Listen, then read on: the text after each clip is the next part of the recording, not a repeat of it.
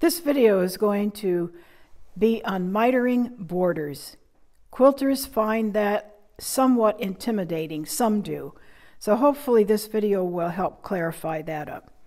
We're going to pretend that this is my quilt top. It is square. Most quilt tops are not square, but that's all right. We're going to consider this the length, and this is going to be the width. So before you start doing anything, mark the four corners of the quilt a quarter of an inch away from the edge. That is very important because you are not going to go beyond that. You're going to stop at that quarter inch and lock your stitches in. So this will be the length. How do I know how long to make my border? Well, you have the length, and this is 10 inches, and I need to add the border width, which is two and a half, twice and then an extra six inches. That's very generous, but I'd rather have too much flopping on the sides than not enough. So this piece of fabric, the yellow border, is 19 inches long. So now let's go and put the second border on. I'm going to turn this around, and again, I have my 19 inch. I'm going to turn this to the right side. I already have the center point marked and I have the center point marked on here and I'm simply going to lay that down and I'm going to pin it and go to my machine and remember you'll know where to start and stop. Start right at that quarter inch marking backstitch and go all the way down and stop at the quarter inch right here just like I did on this one and this is what it's going to look like when you have all the four border four corners on. It's very floppy. It makes this is where quilters don't know what to do. This is a mess. It looks like a mess. So I've already got one done, but I'm not going to let you see that yet. How do we get this these floppy things to be mitered? In a quilt, just like here, you're going to take your two border strips right side to right side and make sure that they match. You don't want them cattywampy. This is where people go crazy. If you do something like that, it's all, it has to lay flat, one against the other, straight. And there we are. Now, this has formed an automatic 45 degree angle. Some uh, quilters will just take their ruler and just mark it. I prefer to use my 45 degree angle line. I will place that at the bottom of my border and I will slide my ruler and just push those little that fabric back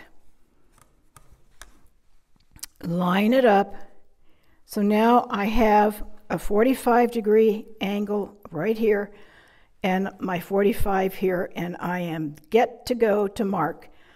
And I'm take a FriXion pin and I'm going to mark that. Remove the ruler and now I can pin and you can see this is where I stopped with the last stitch. And so I'll just pin this just I just use a couple pins.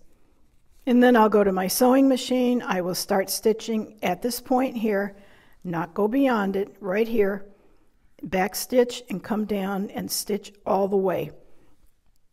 Once that's done, then I can trim to within a quarter of an inch, like I did here. But before you trim, make sure there are no puckers here.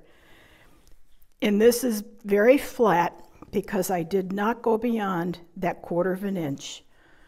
And there's lies some of the problems. If you do and you got distracted, then just take your seam ripper and pull out maybe one or two of your stitches. And this should lie very flat. I do have the seams pressed open if you want, you can press the seams to one side. I prefer this because it lays much, much flatter.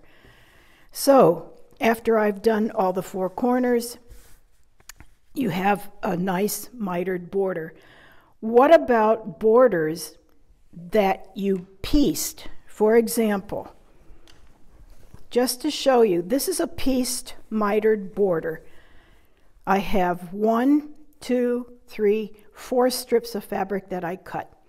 If you're going to miter border fabrics that you like and you want to have a, a number of them like this, what you do, don't forget, you measure the length of your quilt and the width, and then if you decide this is four inches wide, then you have the length of your fabric plus the width of the border twice, and then an extra fabric, which I said I like six inches. So, how do you do something like that? How does it work when you've got it on the four corners? Well, here's a pretend quilt. And I've stitched the borders on. I when I stitch them by machine, um, I did so, and then I pressed the borders coming out away from the quilt top.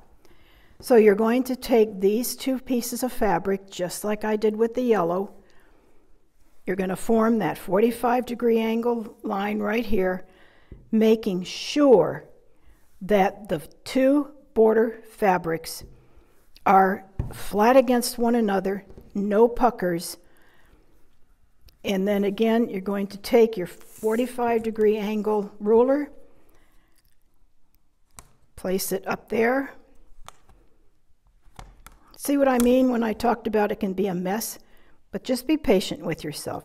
Here's my 45 degree angle. I'm going to slide that up and make it even. Now, I'm going to mark it, but before I mark it, let's do something. I'm going to take the upper fabric, pull it aside, and I'm going to have a nice 45 degree line. If this was cattywampy, like let's say you just, I didn't really put it together properly, and I just was, let's see what's going to happen. Well, I'm exaggerating, but you'll get the point. See, there's the point down here and the point here, so that's a disaster. Don't forget the two border strips side by each, nice and flat, 45 degree angle, ruler 45 degree angle at the bottom here and on the here. And you can see that it just makes for a much more accurate piece. And then again, mark it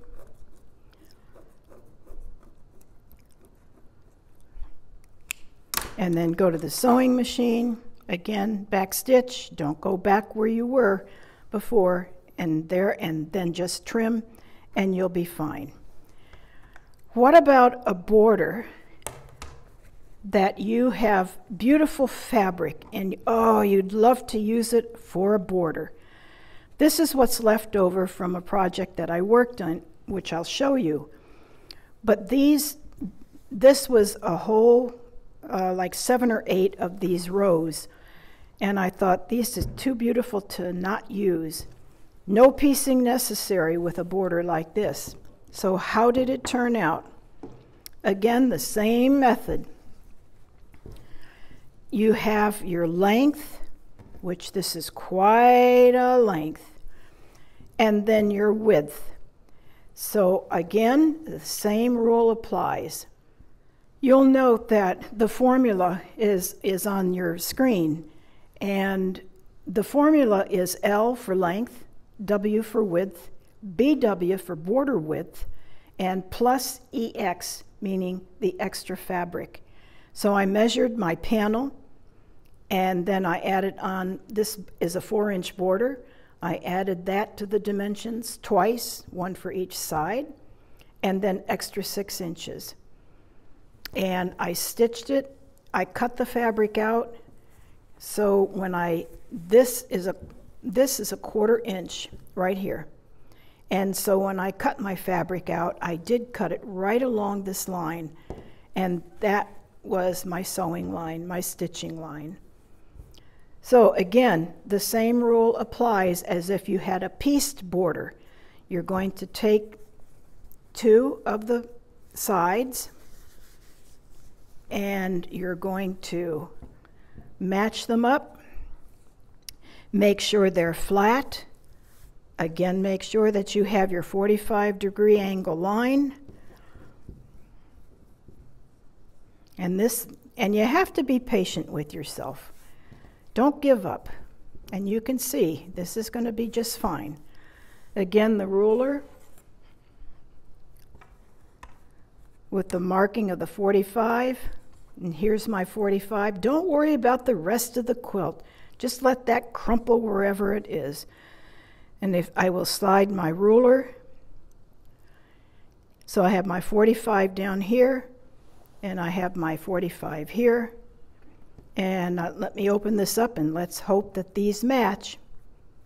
Yep, they do match. So you know that when you stitch on that line and you open up your fabrics, it's going to be just perfect. So again, mark it from where you stopped stitching that quarter inch up there on the quilt top. And again, you're going to go to the sewing machine, back stitch, come all the way down. You don't need to back stitch here because your binding will catch that seam. And then when you open that up, you will get a nice mitered border with the fabric print.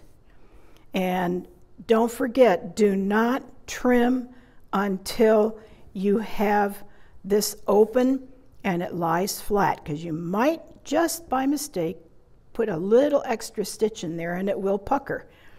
And this is where some quilters get very frustrated. I think it's because that quarter inch hasn't been marked properly. So I wish you good luck and hopefully you will have fun mitering a border. It's easy. Thank you.